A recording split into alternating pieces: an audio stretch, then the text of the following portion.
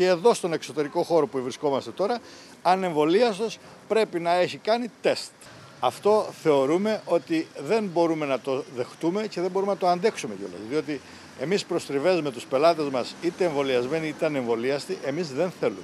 Ε, άμα είναι να πούνε και εδώ πέρα, θα πούνε και στον δρόμο απ' έξω που κυκλοφορούμε. Νέα μέτρα να πάρουν νέα μέτρα.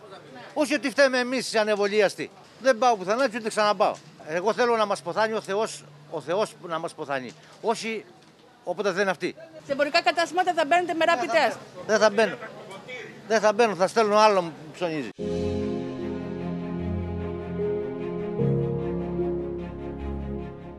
Πώς θα αντιμετωπίσουμε το πρόβλημα; Ένας πελάτης μου ας πούμε, που είναι πάρα πολύ, δεν έχει εμβολιαστεί. Αλλά είναι καθημερινός πελάτης. Πώς εγώ θα του πω μην μπει στο κατάστημά μου. Για να σου λέει θα τσακώνομαι εγώ. Έπρεπε να μην ισχύει. Δηλαδή στο ένα μέτρο είναι δρόμος και περνάει. Στους 50 πόντους θα καθίσει στην καρέκλα.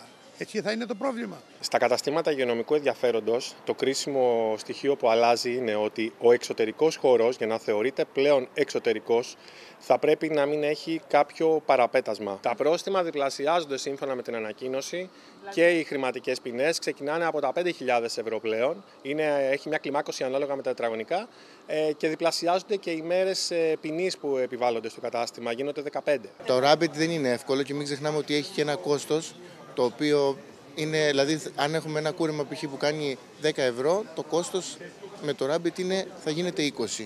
Δηλαδή στο 48 ώρο πηγαίνει να κάνει τις δουλειές του, πληρώνει την ελευθερία του.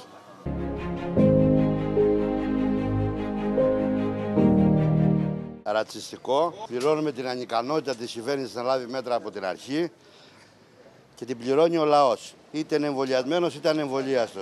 Και ο πολίτης, βλέπετε τι κάνει στα καφενεία. Τσακώνονται μεταξύ τους. Δηλαδή σε ανοιχτό χώρο γιατί δεν μπορούν να μπουν. Η μοναδική ασπίδα που έχει τώρα ο άνθρωπος είναι το εμβόλιο. Γιατί έχω ένα κουμπάρο και εκόλλησε κορονοϊό, ε, την έβγαλε βέβαια από του χάρου τα δόντια. Αλλά επέρασε άσχημα και μου λέει κουμπάρα κάνω το εμβόλιο. Να κάνει το εμβόλιο, ναι. Αυτό είναι σωστό για όλους, είναι το καλό. Να το κάνω το εμβόλιο. Εγώ ορίστε.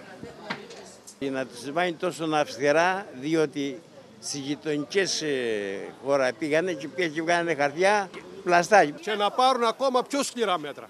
Ακόμα αν μπορούν να πάρουν πιο σκληρά μέτρα, γιατί εγώ το ξαναλέω, είμαι από ομάδα και πήγα και το έκανα για να προφυλάξω πρώτα τον εαυτό μου και μετά τους συμπολίτες μου.